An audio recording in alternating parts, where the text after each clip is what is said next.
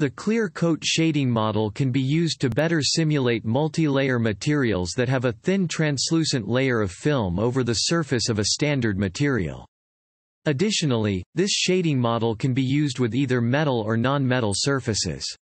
It was specifically designed to model this second class of smooth-colored films over a non-colored metal.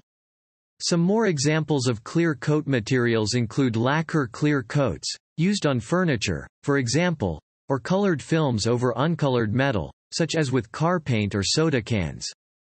Create a new material in the content browser with a name of ClearCoat and then double-click on it to open it up. Select the main material node and in the Details panel under the Material section, change the following options. Shading model to clear coat. The clear coat shading model enables two new material inputs on the main material node. First is clear coat. Amount of clear coat layer, 0 acts like the stand, and shading model, 1 is the full clear coat model. This is useful for masking.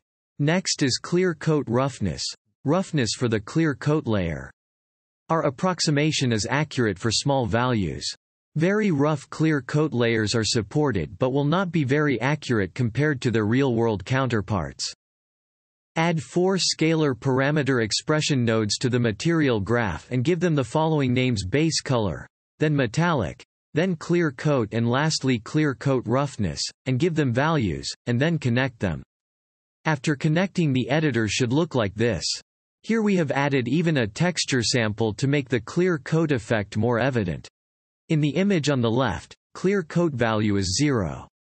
While the surface without the clear coat is interacting with the lighting, the light is only affecting the surface in one direction. In the image on the right, clear coat value is 1. You will notice that more light is now interacting, producing an alternating pattern of highlights and shadows with a sense of directionality. This makes the surface appear flat and smooth. Hope from this video, you will start to move into building in more advanced mechanics, in an easy-to-follow step-by-step approach which will allow you to play around and build your own content, to eventually build your own game. Thanks, thanks a lot, see you in the next video.